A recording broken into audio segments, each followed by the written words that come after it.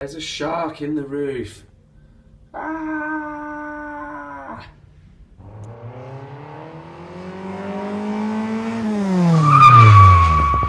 Yes, guys, welcome back to the shop. Today, you catch me a bit boring for the car guys out there, but this is my day job, um, doing this sort of stuff, fuse boards and stuff. So I thought I'd make a video. It's going to be pretty interesting, just connecting a fuse board up for a lot of people that don't know how to do it or you know are learning. So let's run through that now. I'll see you in a minute. So first things first, we've got the mains armoured coming in, and you've got a semi-recessed fuse board, metal construction with all the cables coming in the top. come round. This is a split load.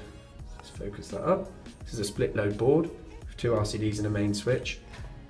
Your mains tails coming in there. Put the light on. This will be getting taped blue. So in a three core armoured, you get brown, black, which uses the earth and you tape up, and grey as a neutral because you don't want to associate the black with the old neutral colours. So you always use that as the earth and you use the grey as the blue. So you just tape that up. And then in this, uh, this is a one, uh, two bedroom flat. So you've got like two ring mains, a cooker circuit, a boiler, um, towel heaters, um, smoke alarms and a couple of lighting circuits. Um, so yeah, if you bring all your cables in the top normally, and then you want to put some grommets, you've got knockouts and grommets on there. Um, normally you bring all your cables in, split them off, and then you can, um, what I do is I leave my lives all down, get all the cables back in first and pushed out the way, and then you can dress all the lives in. So what I'm going to do is I'm going to carry on doing this and I'll talk you through the processes. So normally on a job like this, when you're making a fuse board off, you've normally sort of second fixed all your sockets and lighting points.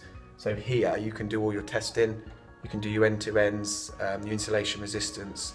Um, but in this job, they want us to finish the board and then we're coming back to do all the second fixing because there's no one else here which they should be fixing stuff up. But um, we'll then have to take the board cover off and do all the testing. So what I've done, rather than twisting any of the earths together, I've put them in separate sheathing so you can split them easily to test the end to ends, do your ring final circuits and stuff.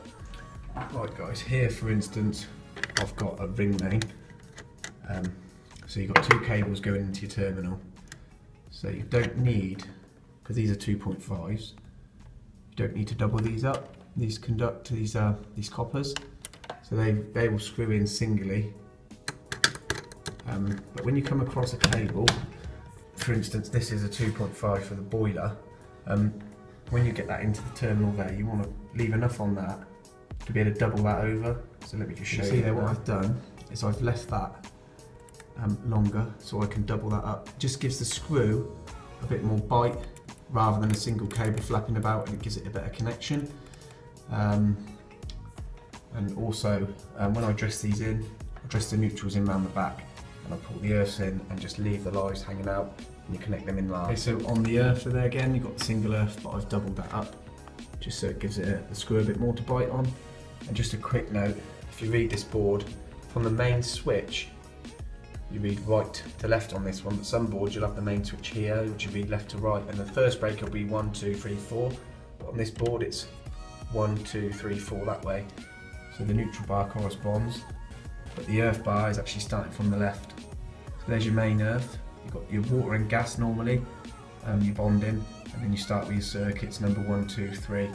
So that'll be uh, one on the left there and one on the right there. And if you've got a split split load board, which you have, you have two neutral bars. So that's the second neutral bar.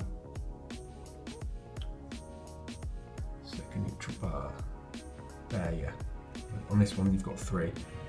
So, oh, so I've just noticed, um, I've read this wrong. These have got to go in there. This is main, uh, this is main neutrals. This is the first bar, the RCDs. That's the second bar for the RCDs. Because if you follow this, um, the neutral, live, the neutral comes in the top, goes through the switch. That links up to there, it's non-RC detected. This one loops off the top, comes through the first RCD, up there to the first bar. And again, this one comes off the bottom, around the back, into the second bar. Your first lot in there, your second lot in But we've now moved them to the right neutral bar. So just a tip guys, you don't want to cut these straight along and up. Always leave a little bit for the next guy that's got to come in here and do something. Or if you, you, you know when you've got your chest and you don't want to be pulling these out and, and have it really tight, you want to leave enough on there Um, that's just another little tip there. Now left with the live cables out. They're going to be going into these breakers. It's got all the CPCs in and the neutrals. Um, what I do is go around and check every terminal, even the manufacturer's ones. If you read here, you do get a data sheet. What the recommended tightening torque is with your torque screwdriver. We're not going to do that today because these are all going to be coming out again for testing.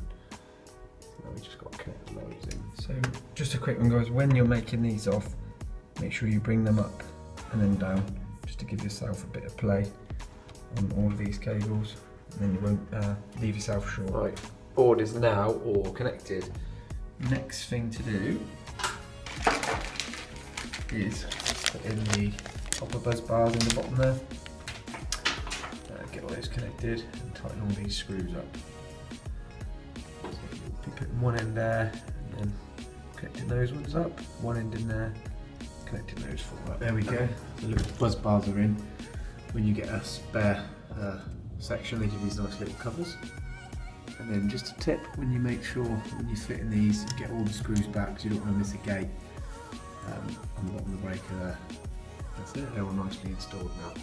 Guys, so all left to do on this one is put the lid on um, and label it all up from wherever you've put your um, circuits in which breaker and, uh, and that's it then really. So if you like the video give me a thumbs up and I'll see you on the next one.